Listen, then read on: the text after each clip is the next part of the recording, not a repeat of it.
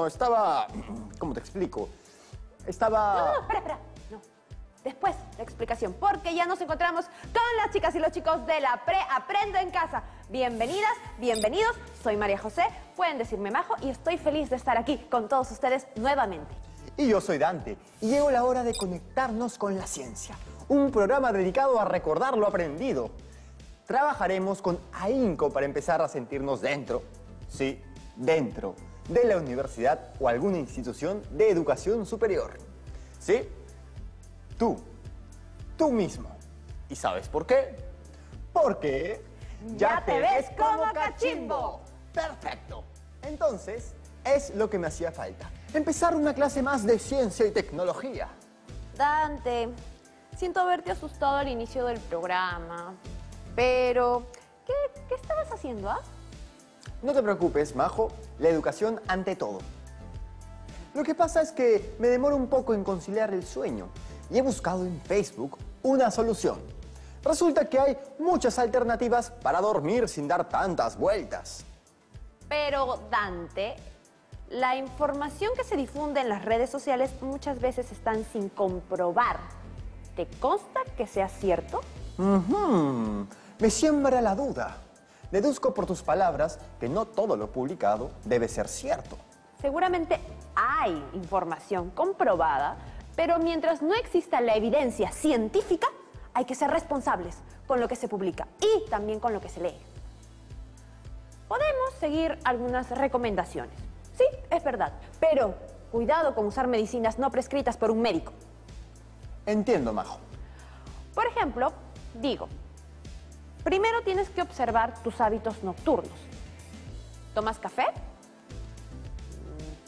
Mm, ¿Usas el celular a oscuras antes de dormir? Este, mm, pues entonces debo observar mejor mis hábitos. Por supuesto. Saber observar es la clave y precisamente esta será una primera característica de nuestro tema de hoy. ¿Observar? Porque la observación es el primer paso para poner en práctica el prestigioso método científico. Uy, esto se pone interesante. Sospecho que el tema de hoy tiene que ver con la biología, ¿verdad? Efectivamente, el tema de hoy es identificar el método científico como obtención del conocimiento y su relación con la biología. Hoy responderemos las siguientes preguntas. ¿Cómo se generan los conocimientos científicos? ¿Cuáles son las características de los seres vivos? Además de otras situaciones que demuestran la aplicación del método científico en la vida diaria. Excelente, Majo. Y lo mejor es que las chicas y los chicos de la Pre Aprendo en Casa ya están sintonizados con este programa. Tenemos algunas preguntas en nuestro WhatsApp. ¿Tú tan rápido? Uf, me parece genial que ya estén pilas, pero antes tenemos una cita con la profesora, quien ampliará la información sobre el tema de hoy. Hola chicas y chicos de la Pre Aprendo en Casa. Hola Majo y Dante. Hola, profe. Gracias por permitirme participar. Me parece que quieren conocer más sobre la biología y la ciencia y acerca de la aplicación del método científico con la finalidad de producir o crear conocimiento científico. Que no les asuste si digo que en la ciencia el método científico es un trabajo de largo aliento. Esto implica tiempo y perseverancia. Porque encontrar un conocimiento nuevo no sucede de la noche a la mañana. Profesora, ¿y el método científico también está presente en nuestra vida cotidiana? Por supuesto. Considera que donde exista un problema se buscará una solución. Pero para eso es importante conocer los pasos clave que el método científico tiene. Veamos. El primer paso es la observación. No confundir con mirar o ver. La observación implica un estudio con todos nuestros sentidos.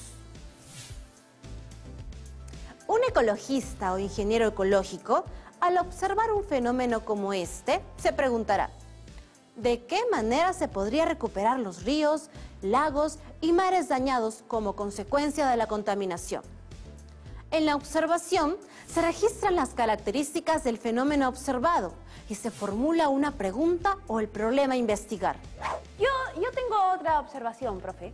Por ejemplo, ¿De qué manera se podría contrarrestar la humedad que se presenta en Lima en época de verano, de modo que se eviten las enfermedades respiratorias? Yo tengo otra. ¿De qué manera podemos controlar las plagas que perjudican a las deliciosas plantas en la selva? Encima, llegan antes de que yo me las coma. Muy válidas todas esas interrogantes. Pero ahora, en la siguiente imagen, observamos un evento sobre el parabrisas del auto. ¿Debido a qué se forman gotas de agua en el vidrio cuando hace frío a pesar de que no llueve? Bueno, es posible que esté empezando una llovizna.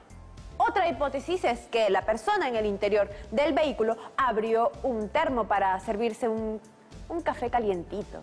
Precisamente, el segundo paso del método científico es la hipótesis. Es una posible respuesta a la pregunta o problema, pero cuya explicación tiene un valor predictivo. Ah, quiere decir que sobre la base de nuestras observaciones podemos sostener teorías que expliquen las posibles causas. Así es. Y quizá lo más importante es que la probable explicación o respuesta sea posible demostrarla o plasmarla en la realidad. Pero ojo, que nuestras suposiciones deben estar sustentadas con teorías que integren conocimientos científicos. Lo que dijimos con Majo es una suposición inmediata, pero que no deja de ser una hipótesis. Es aceptable, pero recuerden que una hipótesis puede ser cierta o no, pero como dijiste, debe sustentarse con la teoría, Dante. ¿Me ayudas? Por supuesto. El aire, al entrar en contacto con una superficie de un cuerpo frío, cambia su estado gaseoso a un estado líquido por acción de la condensación del agua. Deduzco que tendremos que trabajar con los cuerpos fríos y observar lo que pasa. No es para tanto, Dante. Es cierto que según el problema se plantea una hipótesis y se debe decidir cómo comprobarla en la realidad. Para nuestro caso, haremos un experimento controlado. No en todos los casos se hace, pero la finalidad es darnos cuenta de las variables que intervienen en una investigación, que requiere una experimentación controlada. Para ello, debemos realizar predicciones del posible resultado que se espera obtener si la hipótesis es correcta. Y como la etapa de la experimentación es una de mis partes favoritas, debemos considerar los materiales e instrumentos que se usarán para la comprobación de nuestra hipótesis, es decir, para demostrar su veracidad o falsedad. No se muevan, que ya regresamos.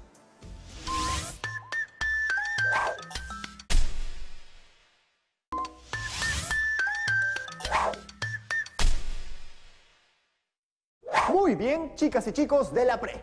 Continuemos. Estábamos hablando de comprobar nuestra hipótesis. Y si la hipótesis resulta no ser cierta al ser comprobada en la realidad, se tiene que formular una nueva hipótesis. Y volver a analizar las variables en la investigación. Pero, ¿qué son las variables? Recordemos con las chicas y los chicos de la pre Aprendo en Casa. La variable es el atributo, propiedad o particularidad que poseen los cuerpos, sustancias o seres vivos, que pueden medirse y que llegan a influir en un fenómeno, como la edad, el grado de instrucción, la cantidad de sustancia para provocar una reacción, la presión, el peso, la masa, etc. También puede ser aquella alternativa que da solución a un problema, como una pastilla, una vacuna, un aparato o un nuevo procedimiento. Cierto, pero en estos tipos de investigación donde los experimentos son controlados, entran en juego dos tipos de variables bien diferenciadas. Ajá, por algo es controlado. Se trata de una prueba científica realizada bajo condiciones controladas, en donde una de sus variables es independiente, es decir, causante del fenómeno o de su modificación, mientras que la otra variable es dependiente, vale decir, es el efecto que provoca la variable independiente en el fenómeno observado. Así se puede predecir si un cuerpo es expuesto al aire después de haber sido sometido a enfriamiento. Entonces, el aire se condensa y forma gotas de agua en su superficie. Y como a las palabras le siguen los hechos, aquí traje los elementos que nos ayudarán a realizar nuestro experimento. Fantástico, Majo. Si seco la superficie de estas botellas, una evidenciará gotas de agua en su superficie. Observemos y analicemos la causa. Es la botella fría. La botella sometida a enfriamiento condensa el aire y forma gotas de agua en su superficie. Tú sí sabes, Majo. Aprovechando la práctica desarrollada por ustedes, podemos señalar lo siguiente. En un experimento controlado hay dos grupos, el experimental y el de control. El grupo experimental recibe el tratamiento de enfriamiento del envase o refrigeración, es decir, se le aplica la variable independiente, mientras que el grupo de control, que no recibe tratamiento, se mantiene constante para luego compararla. Luego, el grupo experimental, al estar expuesto a la misma temperatura que el grupo de control, sufre cambios, de modo que se forman gotas de agua en la superficie de la botella. Esa vendría a ser la variable dependiente. Entonces, el efecto ocasionado por la variable independiente, es decir, el enfriamiento de la botella, es la formación de gotas de agua en su superficie, que es la variable dependiente. Exacto. Y luego corresponde tabular y organizar los resultados. Lógico. Este es un pequeño ejemplo que no está exento de más pruebas que ayudarían a confirmar nuestra hipótesis. Luego, cuando ya esté comprobada, pasamos a las conclusiones y resultados. A través de esa hipótesis se genera una teoría y si dicha teoría llega a ser demostrada en otras experimentaciones, termina por convertirse en ley. Formidable. En ese nivel, la obtención del conocimiento científico se convierte en una certeza absoluta. No es así. La ciencia es un conjunto de conocimientos ordenados cuyo procedimiento de investigación es el método científico, con variables susceptibles al cambio que no corresponden a lo absoluto. Además, toda teoría tiene un momento histórico hasta que otra teoría la cuestiona y se inicia una nueva investigación. De esta manera, la biología, que estudia todo lo relacionado a los seres vivos, recibe un permanente estudio científico. Todos los seres vivos son diferentes unos de otros. Presentan características generales, pero también difieren por ser particulares y específicos. Todo ser vivo presenta en su estructura bioelementos y biomoléculas. Algunos son seres unicelulares y pluricelulares. Por su complejidad estructural, forman tejidos, órganos, sistemas y aparatos. Incluso las bacterias tienen ADN y están formadas de proteínas y presentan estructuras químicas que también nosotros poseemos como el carbono, hidrógeno, oxígeno, nitrógeno, entre otras. La vida sí que es sorprendente. Cada nivel de organización tiene funciones específicas, pero están todas unidas para evidenciar su existencia a través de las funciones vitales del ser vivo. Aquí tengo la definición de metabolismo. Es el intercambio que se da en el interior del ser vivo entre la materia y la energía, con la finalidad de realizar todas las funciones vitales. Son las reacciones bioquímicas que ocurren en el ser vivo para que se cumpla todas sus funciones y para que a través del uso de la energía pueda relacionarse con su medio interno y externo. El metabolismo presenta dos procesos. El primero es el anabolismo, por el cual, a partir de moléculas simples, construyen otras más complejas. Y el segundo es el catabolismo, que es la degradación o destrucción de moléculas complejas a simples. Y para saber si están atentos, aquí les suelto una pregunta. ¿Cómo sabemos si ocurre metabolismo en los seres vivos? Ya era tiempo de escucharlos, chicas y chicos. Me llegó un mensaje. Sí que son rápidos. Saludos, soy Eric de Cajamarca. Sabemos que hay metabolismo cuando los organismos respiran, se mueven, se alimentan, excretan o cuando las plantas realizan fotosíntesis. Un éxito, Eric. Lo hiciste bien. Vuelvo a recordarles que el metabolismo tiene dos procesos. El anabolismo, por el cual a partir de moléculas simples se construyen otras más complejas. Y el catabolismo, que es la degradación o destrucción de moléculas complejas a simples. Ajá. ¿Qué otras características hay? Tenemos la homeostasis, que es la capacidad que tienen los seres vivos para regular y mantener constantes las condiciones internas de modo que sus células funcionen normalmente. ¡Qué bien! Estoy sano y sin fiebre. Mm, yo también. La siguiente es el crecimiento, que es interno, gracias a la división celular, especialmente en organismos pluricelulares lo que hace que su tamaño aumente. También presentan irritabilidad. Todo organismo responde a estímulos internos y externos, como al momento de reaccionar ante un choque, un cambio de temperatura o la búsqueda de luz. La reproducción está presente en todo ser vivo. Su finalidad es originar nuevos individuos de la misma especie con las características de sus progenitores. Puede ser asexual, como en el caso de las bacterias, o sexual cuando existen gametos sexuales, como en el caso de la mayoría de animales. Y otra característica es la evolución. Los organismos tienen la capacidad de responder a los diversos estímulos del ambiente de forma permanente, lo que produce cambios en su adaptabilidad y permite que luego estos se transmitan a sus futuras generaciones. Y hay otras más, pero las principales ya las hemos mencionado. Por mi parte, ha sido un gusto aportar en el programa de hoy. Estuvo genial su aporte de hoy, profe. Fue contundente. Muchísimas gracias. Hasta el próximo programa, profe. Gracias. Muy bien. No se muevan, que venimos con los ejemplos.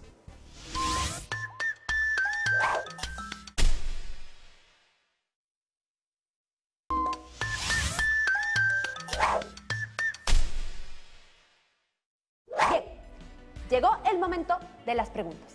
Y para eso pedimos la participación de ustedes. Estas chicas y chicos ya están con un pie en la partida, querida Majo. Ah, ¿Por qué lo dices, querido Dante? Porque ya tenemos un mensaje en el WhatsApp.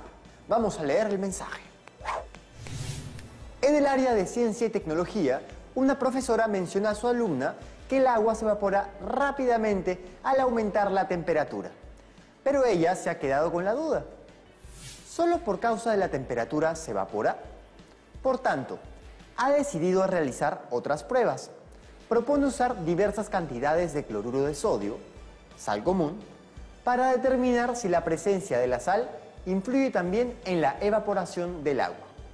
Utiliza cuatro tubos de ensayo, en los cuales coloca sal. En el primero, 6 gramos, en el segundo, 8 gramos, en el tercero, 10 gramos y en el cuarto no coloca sal les agrega agua poco a poco hasta que se termine de disolverse la sal. Cuida, además, que todas las muestras tengan la misma altura. Luego de dos días, la alumna procede a medir la altura con la finalidad de averiguar cuánto de agua se evaporó en cada tubo. ¿Cuál es la variable independiente en el experimento que realizó la alumna? A. La altura a la que llegaron cada una de las muestras. B. El uso de los tubos de ensayo. C. El tiempo que demora en evaporarse el agua en cada muestra. D. Las diversas cantidades de sal. Entonces, vamos a analizarlo con calma. La variable independiente es la manipulación de las diversas cantidades de sal. De esa forma, se comprueba si intervienen o no en la evaporación del agua. Entonces, la opción D es la respuesta. ¡Estupendo! Gracias por participar y enviarnos esa situación. Tenemos otra situación y más mensajes que me llegan al WhatsApp. Nos lo envía Isabel. Atenta con el siguiente texto. En estos meses, en algunas partes del Perú, especialmente en la sierra, comienza la temporada de lluvias. A Cristian, su papá le dio el encargo de cambiar las calaminas del techo de su casa estuvo realizando la actividad durante el día para aprovechar que estaba soleado. Al terminar, tuvo que realizar sus actividades escolares dejadas por los maestros. Sin embargo, al mirar el contenido de su celular, sus ojos comenzaron a lagrimear y se pusieron rojos. ¿Qué características del ser vivo específicamente se da a conocer en los ojos de Cristian? La respuesta es La irritabilidad, porque las calaminas reflejaron la incidencia de la luz solar sobre los ojos de Cristian. Bien pensado. Gracias, Isabel, por enviarnos tu ejemplo. Estupendo, Majo. Creo que las chicas y los chicos ya lo comprendieron. También lo creo, Dante. Pero no está de más un repaso, ¿no? Por si alguien se quedó con la duda. El tema de hoy es... El método científico como obtención del conocimiento y su relación con la biología.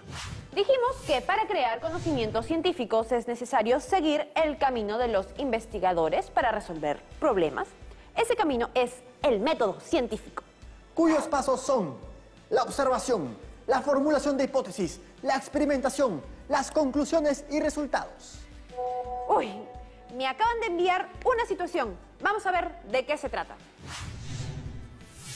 Con la finalidad de que puedan precipitarse partículas sólidas que se encuentran en un lago durante un tiempo corto, se prueban sustancias químicas en reservorios pequeños con el agua del lago para registrar el tiempo de decantación y así obtener agua sin suspensiones sólidas. En el reservorio 1 tenemos la sustancia A y en el reservorio 2 solo agua del lago. Luego de dos horas de aplicada la prueba con la sustancia A y haber obtenido buenos resultados, se comienza a probar la sustancia B en el reservorio 3. ¿Cuáles de las siguientes afirmaciones son verdaderas y cuáles son falsas? A. El hecho de probar las sustancias tipo A y B en sus reservorios respectivos nos indica que nos encontramos en el momento de la experimentación. B. En el reservorio 3, la prueba B es una variable dependiente. C. Existe un solo grupo control. Yo puedo responder la primera.